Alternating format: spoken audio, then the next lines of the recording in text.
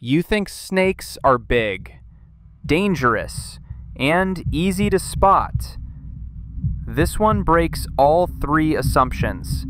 It's so small, you could mistake it for a piece of string.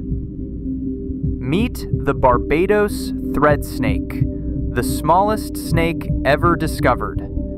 Fully grown, it barely reaches 10 centimeters, about the length of a paperclip thinner than a shoelace, and for years it hid in plain sight. Scientists first identified it in 2008 on the Caribbean island of Barbados.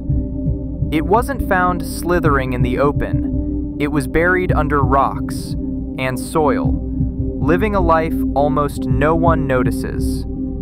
This snake doesn't hunt mice or birds. It eats ants and termite larvae. Its eyes are so small they can barely see.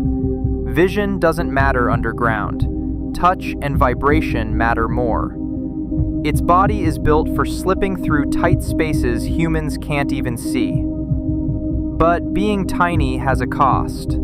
The thread snake can only lay one egg at a time. Any larger, and the egg wouldn't fit inside its body.